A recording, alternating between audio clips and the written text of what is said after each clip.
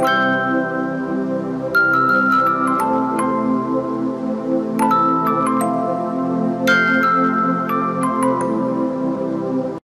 mừng quý vị và các bạn đã đến với bản tin dự báo thời tiết ngày hôm nay và ngày mai.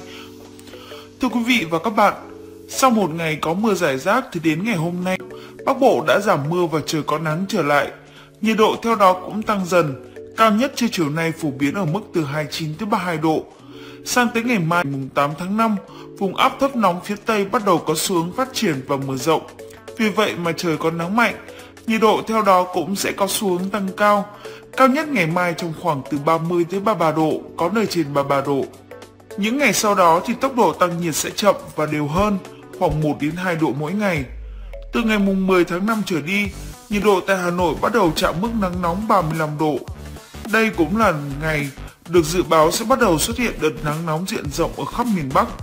Nhiệt độ cao nhất từ 35 tới 38 độ, có nơi nắng nóng gai gắt trên 39 độ.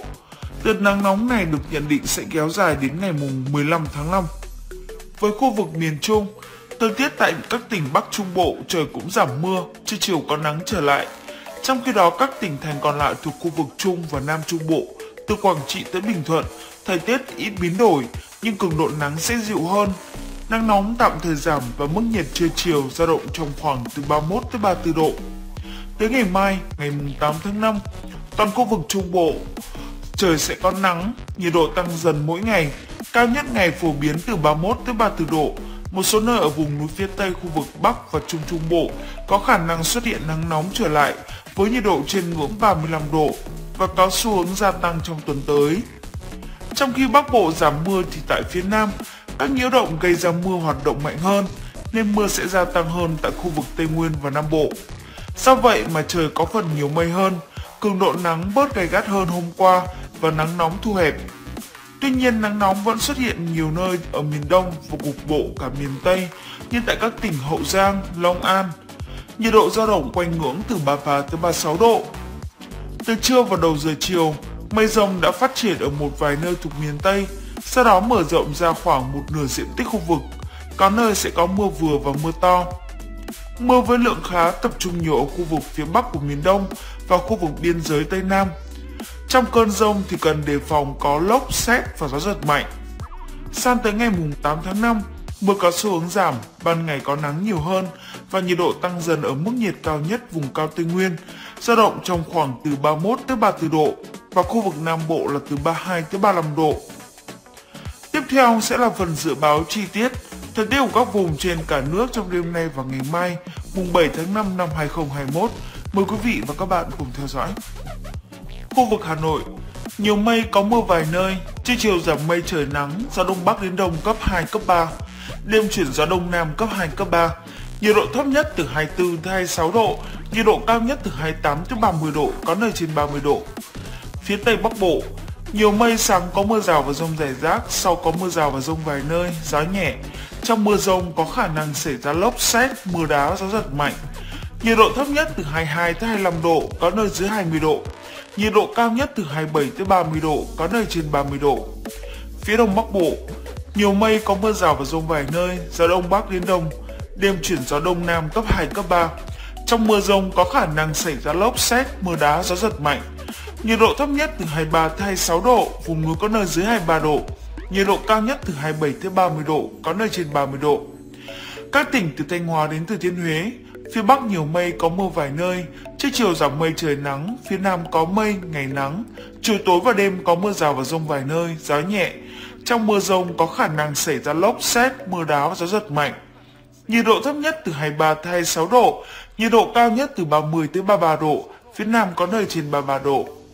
Các tỉnh từ Đà Nẵng tới Bình Thuận, phía Bắc có mây, có mưa rào và rông vài nơi, phía Nam nhiều mây, có mưa rào và rông rải rác, gió đông cấp 2, cấp 3. Trong mưa rông có khả năng xảy ra lốc xét và gió giật mạnh. Nhiệt độ thấp nhất từ 24 tới 27 độ, nhiệt độ cao nhất từ 30 tới 33 độ, phía Bắc có nơi trên 33 độ. Tây Nguyên, có mây, có mưa rào và rông vài nơi, gió nhẹ. Trong mưa rông có khả năng xảy ra lốc xét và gió giật mạnh. Nhiệt độ thấp nhất từ 20 tới 23 độ, nhiệt độ cao nhất từ 30 tới 33 độ, có nơi trên 33 độ. Nam Bộ, có mây, có mưa rào và rông vài nơi, riêng chiều và tối có mưa rào và rông rải rác. gió đông cấp 2, cấp 3. Trong mưa rông có khả năng xảy ra lốc xét và gió giật mạnh. Nhiệt độ thấp nhất từ 24 tới 27 độ, nhiệt độ cao nhất từ 31 tới 34 độ, có nơi trên 34 độ. Dự báo thời tiết biển, Bắc Vịnh Bắc Bộ, có mưa vài nơi, tầm nhìn xa trên 10 km, gió đông bắc đến đông, đêm chuyển gió đông nam cấp 3, cấp 4. Nam Vịnh Bắc Bộ, có mưa vài nơi, tầm nhìn xa trên 10 km, gió đông bắc đến đông, đêm chuyển gió đông nam cấp 3, cấp 4. Khu vực biển từ Quảng Trị tới Quảng Ngãi có mưa rào vài nơi, tầm nhìn xa trên 10 km, gió đông cấp 4. Khu vực biển từ Bình Định tới Ninh Thuận có mưa rào rải rác và có nơi có rông. Trong mưa rông có khả năng xảy ra lốc xoáy và gió giật mạnh. Tầm nhìn xa trên 10 km giảm xuống từ 4 10 km trong mưa, gió đông cấp 4. Khu vực biển từ Bình Thuận tới Cà Mau có mưa rào và rông rải rác. Trong mưa rông có khả năng xảy ra lốc xoáy và gió giật mạnh. Tầm nhìn xa trên 10 km giảm xuống từ 4 10 km trong mưa, gió đông cấp 4 cấp 5. Khu vực biển từ Cà Mau tới Kiên Giang có mưa rào và rông rải rác. Trong mưa rông có khả năng xảy ra lốc xoáy và gió giật mạnh. Tầm nhìn xa trên 10 km giảm xuống từ 4-10 km trong mưa, gió đông cấp 3, cấp 4. Bắc Biển Đông có mưa vài nơi, tầm nhìn xa trên 10 km, gió đông bắc đến đông cấp 4, cấp 5. Quần đảo Hoàng Sa có mưa vài nơi, tầm nhìn xa trên 10 km, gió đông bắc đến đông cấp 4, cấp 5. Vùng giữa Biển Đông có mưa rào và rông vài nơi, tầm nhìn xa trên 10 km, gió đông đến đông bắc cấp 4, cấp 5. Vùng Nam Biển Đông có mưa rào và rông rải rác, trong mưa rông có khả năng xảy ra lốc xoáy và gió giật mạnh. Tầm nhìn xa trên 10 km giảm xuống từ 4 đến 10 km trong mưa, gió đông cấp 4 cấp 5. Quần đảo Trường Sa có mưa rào và rông rải rác. Trong mưa rông có khả năng xảy ra lốc xoáy và gió giật mạnh. Tầm nhìn xa trên 10 km giảm xuống từ 4 đến 10 km trong mưa, gió đông cấp 4 cấp 5. Vịnh Thái Lan có mưa rào và rông rải rác. Trong mưa rông có khả năng xảy ra lốc xoáy và gió giật mạnh. Tầm nhìn xa trên 10 km giảm xuống từ 40 km trong mưa, gió nhẹ. Bản tin dự báo thời tiết ngày hôm nay của chúng tôi đến đây là hết. Cảm ơn quý vị và các bạn đã dành thời gian theo dõi. Xin kính chào tạm biệt và hẹn gặp lại.